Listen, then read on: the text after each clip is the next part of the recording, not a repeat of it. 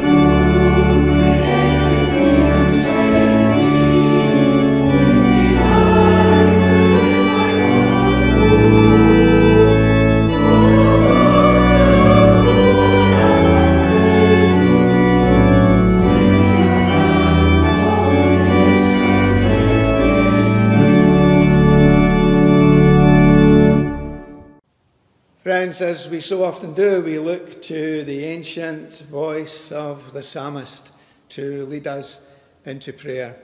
He says, I rise before dawn and call for help. I have put my hope in your word. Let us pray. God our Father, it's good for us to know that when we rise each morning, whatever challenges face us, Whatever may cause us anxiety, whatever might bring us to the end of our inner resources, we can depend upon your help, the eternal presence that brings us comfort, strength, and peace. It's good for us to know that whatever words we hear, words that might be false, words that might deceive, words that might hurt or disturb. We have your word that reveals truth, truth that from all times has firmly stood and shall from age to age endure. Truth that finds its highest expression in Jesus, the Word made flesh, truth embodied. And so we pray this morning that however we may be feeling, wherever we are, whatever our circumstances, we will be sure of your presence in this time of worship and that your words will strengthen our hope in Christ for the days ahead. And we pray this in his name. Amen. Well, hi, boys and girls. Good that you're looking in once again this morning. I don't know if any of you have had the opportunity to go away for a, a, a, wee break. Um, quite, uh, it's been quite difficult for us over the last year or so to get away anywhere. So if you can manage that, then I'm sure you've had a you've had a good time. We, we're not long back from a week in Elie in Fife. That's a very special place to us. We were there quite a lot over the years when my boys were, were we? And we go back from time to time. And the house that we lived in was, was great because we could look out of the, the window onto the, the harbour. And quite often, the, the, the sea was just covered in people who were engaged in, in water sports. Some of them really quite, quite stunning, you know, the, the wind surfers and folk like that. But there was another water sport that really had me standing in amazement. And I, I don't know if you've ever seen this before, but it's kite surfing. Kite surfing. Now, here's a photograph of, of somebody who is kite surfing. Surfing, you can see the, you know the kite up in the sky there, and they're on the, the wee surfboard, and they're getting dragged along. And here's another photograph of somebody who's really showing off now. I mean, this guy, one hand on his on his uh, harness, and you know, showing us how easy it is for him. You know, I think it must be a wonderful thing to do, but I don't see me trying it any time soon. But the reason that they're able to go these incredible speeds, you know, and it's very, very fast at times, is because of the wind. The wind catching the kite and they get pulled along. And as I say, it must be a fantastic experience. The wind has so much power. Now, I want you to hold that in your mind just now. The wind has, has, has power because this strangely enough reminded me of that moment when Jesus had risen from the dead and he gathered his disciples around him. It was only a, a group of 11 at, at that time. And he said to them, Now, very soon I'm going back to heaven, but I want the work to go on. I want you to go into the whole world and to tell my story and to share my love with people. And, you know, if I was one of the disciples, I would be thinking, how does he expect us to do that? Just this small wee group of people. And he wants us to, to do all that. Well, Jesus said to them, I am going to send you my spirit. I'll be in heaven. I'll, I've, I'll have gone away. I'll be in heaven. But I'll send you my spirit. And it'll just be as if I was with you. And I will give you the power that you need to tell my story and to share my love with other people. And that's exactly what happened. You know, when the day came when Jesus sent his spirit to the church, it was as if it, it was like the sound of a, a, a mighty wind. That's the way it's described to us in, in Scripture. And with that power, the disciples were able to, to go into all the world and to do what Jesus asked them to do. And that's something we've got to remember, especially when we've got a, a task in front of us that's proven to be very, very difficult. We can pray that Jesus will give us his power in order to see us through to the end. I want you to remember that, boys and girls, as we go forward together into the future. We're going to sing your hymn together now, boys and girls. One more step along the world I go, and I want you to imagine that we're going forward in Jesus' power.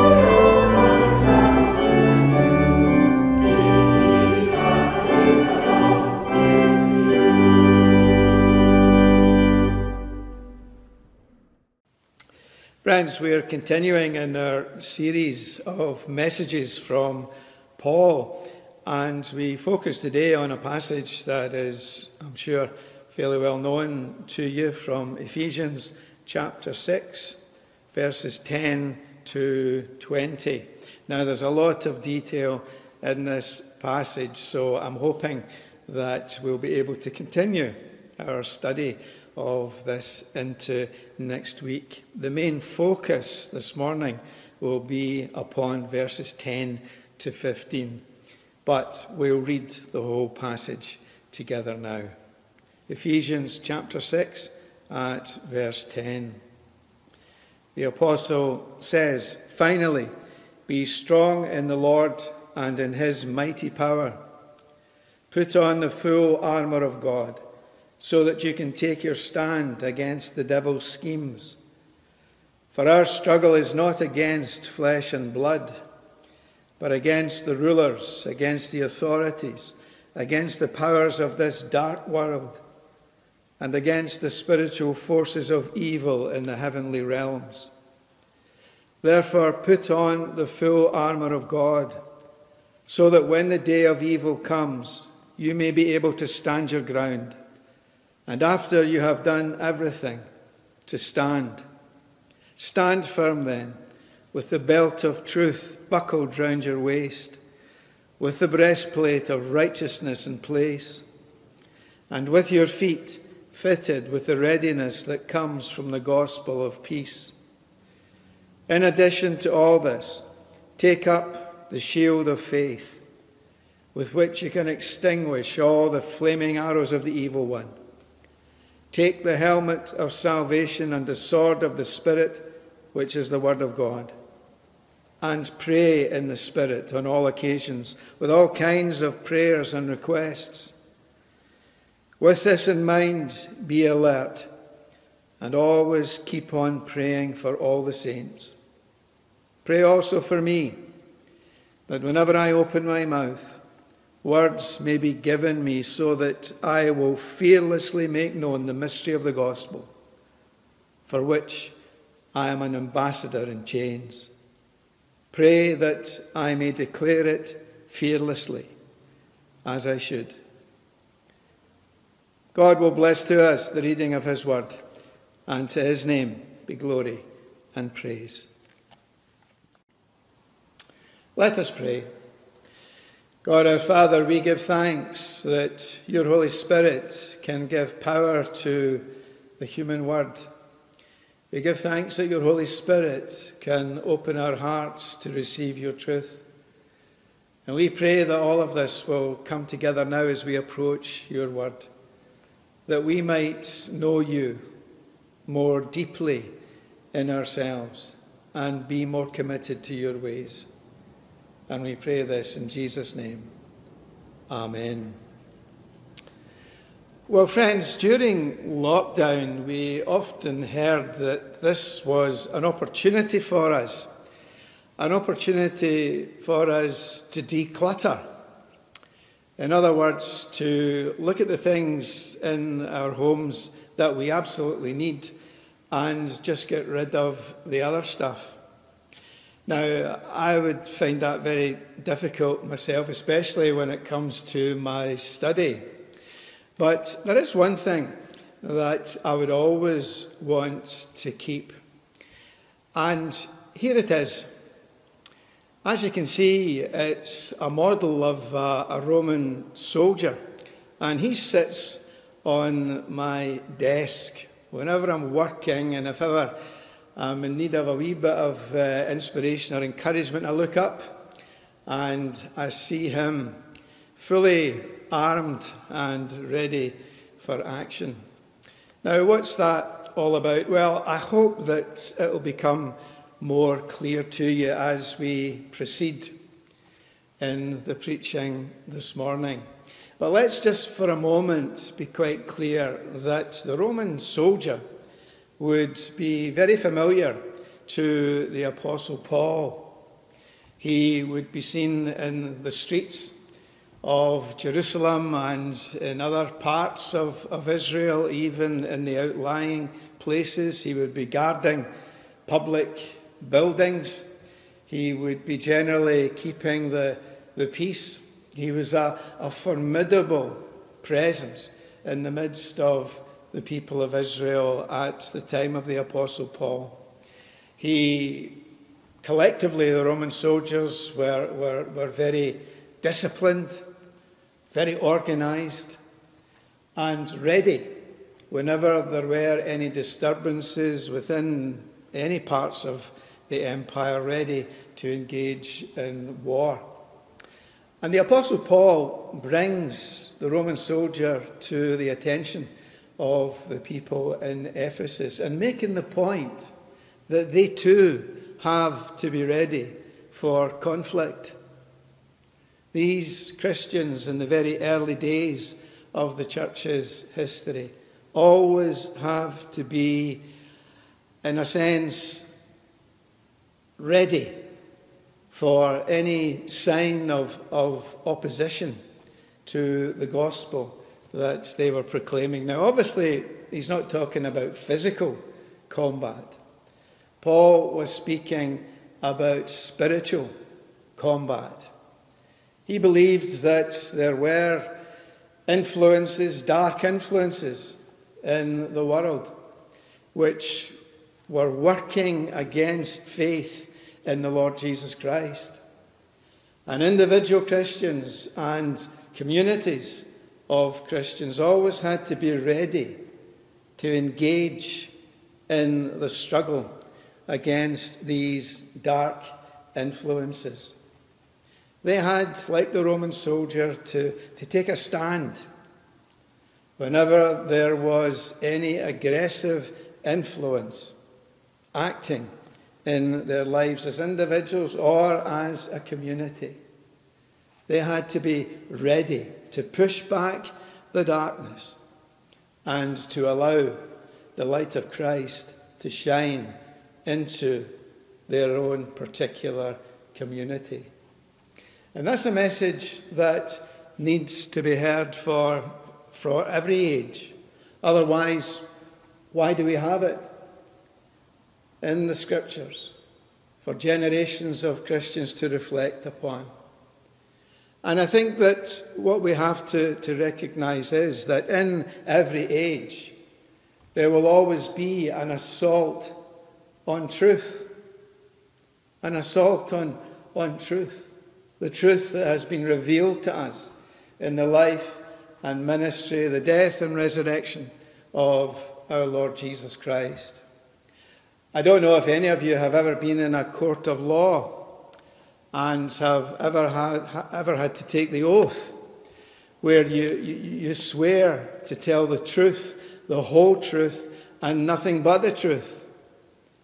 It's quite a, a somber moment when you have to do that. Well, I, I came across a cartoon in a magazine just recently where there is a person in the dock and they're swearing to tell my truth my whole truth and nothing but my truth.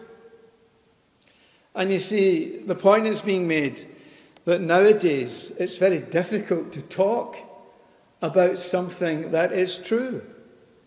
It is difficult to say, this is the truth about God.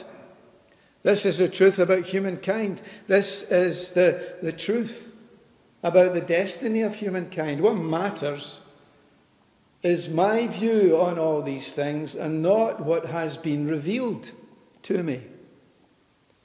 And that's the atmosphere in which we're all seeking to bear our witness in our particular generation at this, at this time. People just will not accept absolute truth about God about humankind and about our destiny under God. And to say anything other than that is to be at risk, at least to be called narrow minded, and maybe at worst to be called a bigot.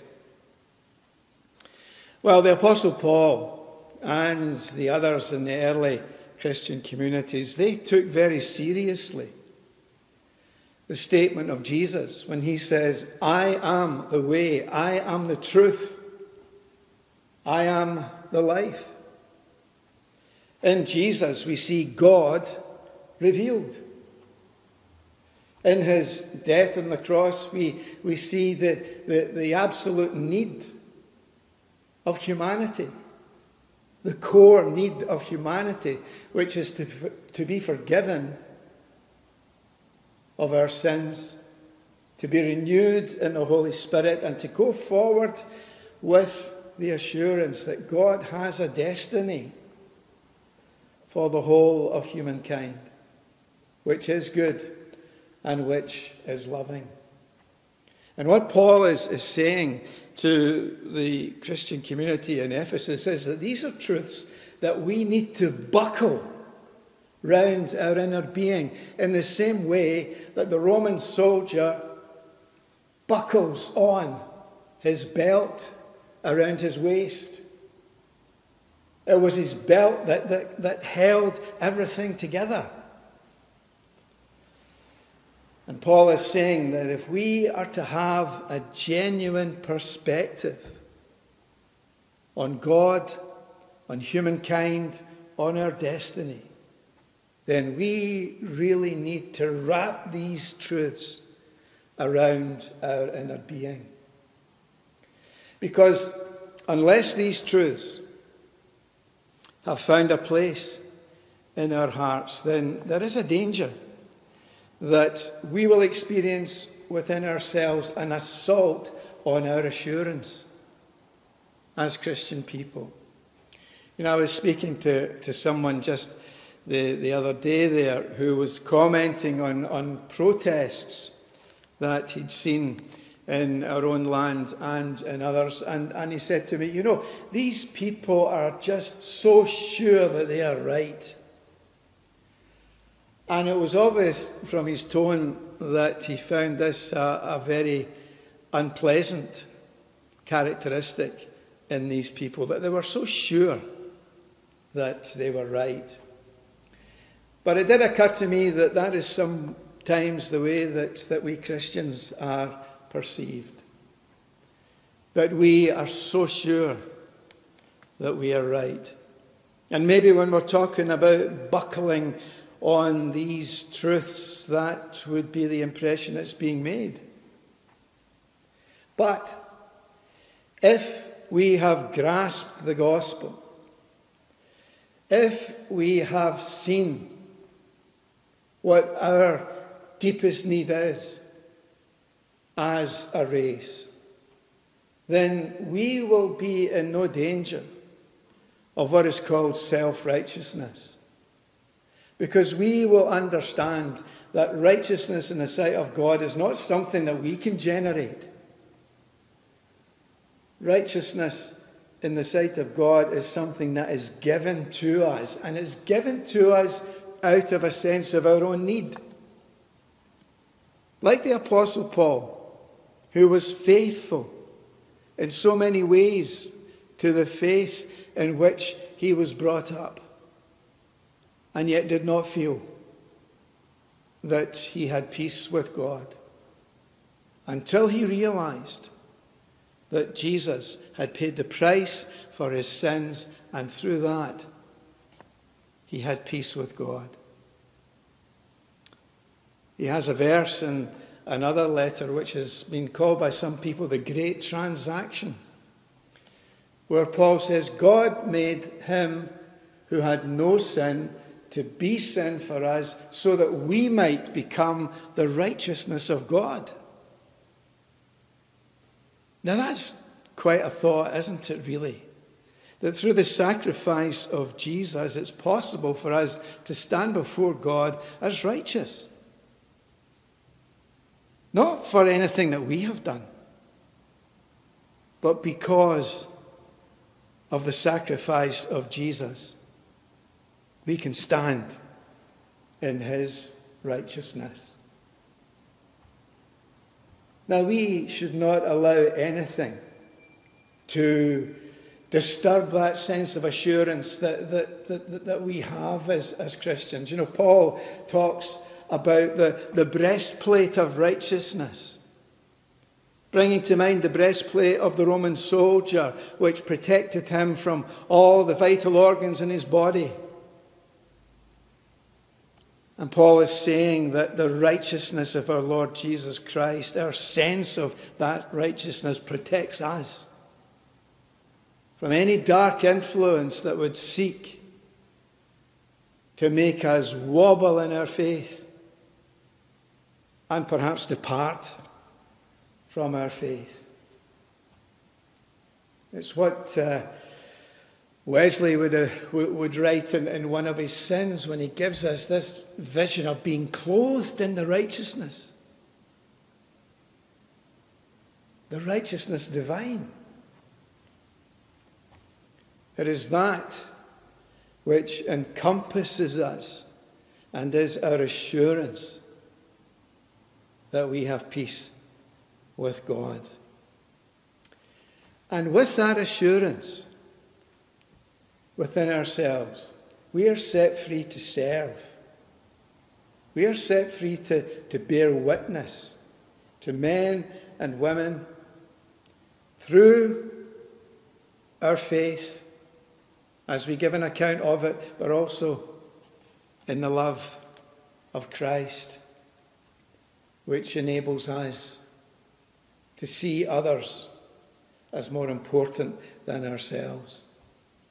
And that brings us to a, another point which Paul is seeking to make that the, the armour of, of God protects us against this assault on our Christian witness.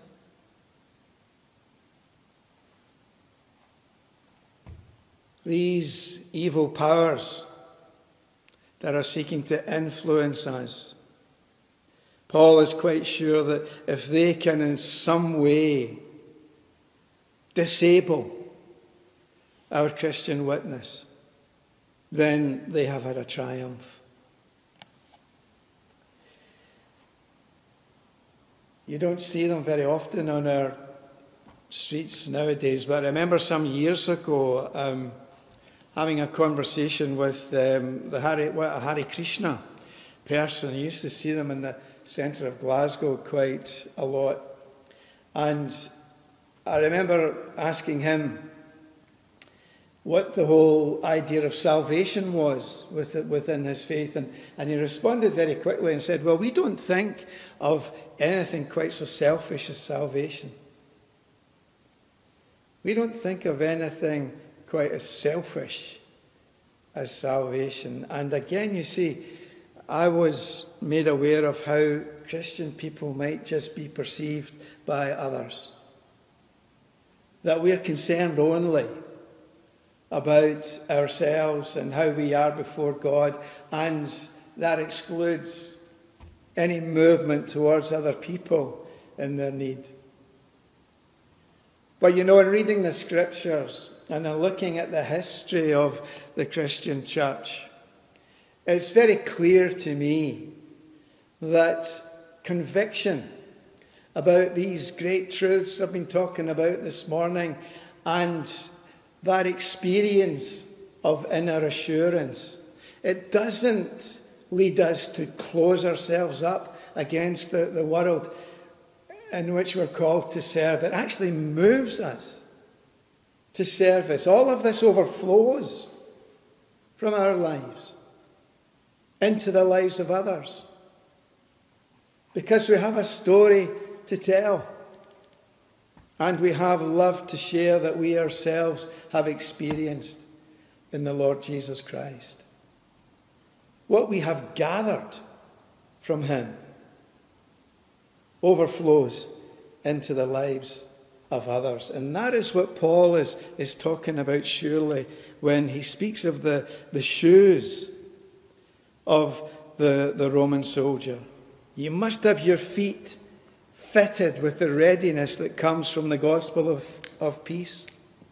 A Roman soldier's shoes or his, or his sandals, they gave him a firm ground in which to engage with the enemy, in which to give an account of himself. And Paul is, is saying that that readiness to bear witness to, to others, to, to resist any temptation for our witness to be diminished, that that is something that needs to be part of our overall mindset as Christian people. As we have been touched by the great truths, as we have experienced the warmth of this inner assurance, so we are made able to reach out to others with the gospel, to focus them upon the Lord Jesus Christ and all that he can do for those who know their need. Let us pray. God our Father, we thank you that you have called us as a people to dwell in your light, to push back the darkness, that the light of your truth and your love might shine more brightly in the world. We thank you for those we have known in the past who have fought the good fight, who were never overwhelmed by the darkness, who kept their eyes firmly fixed on Jesus, the light of the world. We thank you that they were faithful to the end and now enjoy completeness in Christ. Be with your church as she holds out the word of life, wherever there is cruelty, injustice, or disaster. Be with the nations, that every government's priority will be the good of its people and not its own survival. Be with Afghanistan, especially at this time, that all those who are vulnerable in the present upheaval, women, children, and Christians, will be kept safe. Be with our own nation as she works out her response to these circumstances and prepares to welcome refugees. Be with our own people who find it hard to focus on the plight of others due to their own burdens. Grant healing to the sick, peace to the anxious, comfort to the bereaved, love to the neglected, faith to those who resist your call. We pray this in the name of Jesus. And here is now as we come together in the prayer that he taught us to say Our Father, which art in heaven, hallowed be thy name. Thy kingdom come, thy will be done on earth as it is in heaven. Give us this day our daily bread, and forgive us our debts as we forgive our debtors. And lead us not into temptation, but deliver us from evil. For thine is the kingdom, the power, and the glory forever. Amen. We sing together now, Longing for Light.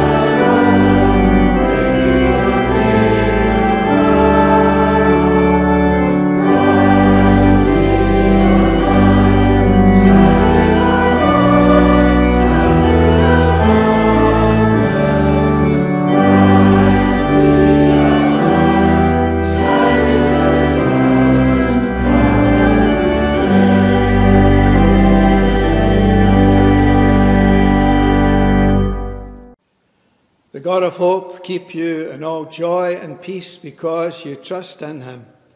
And the blessing of God Almighty, Father, Son, and Holy Spirit be with you now and forevermore.